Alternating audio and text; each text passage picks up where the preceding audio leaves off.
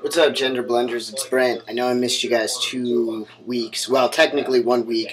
Um, it is technically Saturday, so you'll probably be watching this on Saturday. But in case you're on the other side of the world, or um, I don't know, you're watching it right now. I guess technically it's still Friday. Anyway, regardless, I'm here. Two uh, two weeks in one. So I missed week 163. Uh, what would you do, um, or how would you react if you found out that someone knew you pre-transition? Was going around letting people who were not aware about you. Um, so basically, what would we do if somebody was outing us? Um, I was actually in this situation not that long ago. Uh, I've been in this apartment complex for uh, almost six years now. I'd be signing my sixth lease. Um, and so they knew me pre-transition. Well, one lady. The other ladies knew, but the one lady's still been there. So my friend dropped off a package for me. Um, well, I'd left something in her house, so she dropped it off for me. And uh, she dropped off the office, and she said she was dropping it off for Brent Freeland. And lady at the office said, uh, "Does she know you're dropping something off for her?" And she said, "Yes, he knows I am."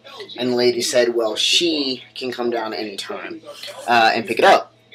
So you know, I was kind of pissed off about it, but I thought about the situation, and um, and you know I went down there and I kind of confronted her on it. Um, she denied it, of course, uh, but I did let her know that um, you know could be putting me in a dangerous situation. So uh, I think everything was handled pretty well.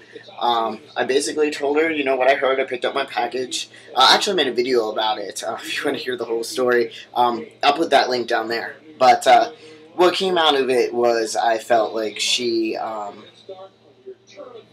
But you know what? I'll tell you. So you know, I went down there and you know I went to pick up my package and I said, "Oh, my friend said this," and she said, um, you know, uh, she denied it. You know, she said, "Well, sometimes people slip up; they use the wrong pronouns." And it's well, I understand that, but you know, my friend said when she corrected you, you still use the wrong pronouns.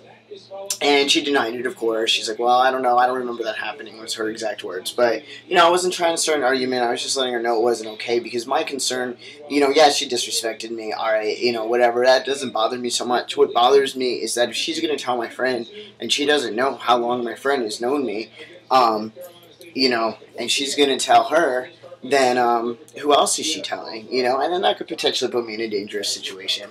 So uh, that's how I handled that. Um, she seemed more aware now, so that's cool. Um, and I'm just not going to sign my lease. I'm going to go somewhere else. Um, so I'm going to move. Oh, that's going to be that's going to suck. Oh, I'm not looking forward to that. But that's uh, that's off topic.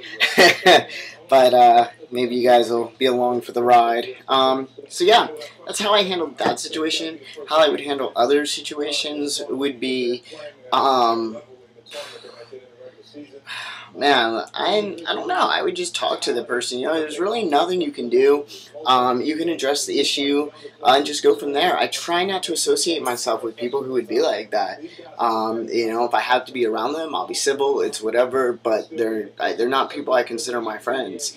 Um, and you know, I figure if somebody finds out about me, I guess that was meant to be. Um, I'm not trying to live completely stealth life. I know that's me. I know there's probably many of you out there who uh, feel opposite um, which is awesome because I battled that for a long time. Uh, but um, I do, I don't know. I do live semi stealth, so if it happens, it happens, but I will address it. Definitely don't want to keep people who are going to disrespect me in my life, period. Um, and some things you can control, some things you can't, you know? So it is what it is. Uh, this week's topic is going to be pretty quick because I think it's just about regrets. Do you have any regrets? And uh, I do not have any regrets. Um, all right, and this week's topic is: Do you regret transition? What would you do different if you had to start all over again? Um, you know what? This is going to be easy for me. I don't regret transition at all. Uh, I am the happiest I've ever been in my life. I'm comfortable. I feel like I'm finally an adult. I can finally look at the world as an adult's perspective for a long time, or from an adult's perspective. For a long time, I felt like I was incapable of growing up. I was, you know, almost stuck in this childlike uh, age. Um, I definitely feel like I found my career, my future, everything. I feel like it's just come together for me. Love it. No regrets. Um, would I do anything differently? No. I feel like this whole journey, it hasn't exactly been easy. Uh, it hasn't been super difficult. Um, it's I've definitely learned. I've definitely taken a lot from it. I've met a lot of really cool people. Um, I really am enjoying, and I say enjoying because I believe it's still going on, uh, everything the transition has brought me. So I would not change anything. And on that note, I'm all caught up. So hopefully I'll see you guys on time next week.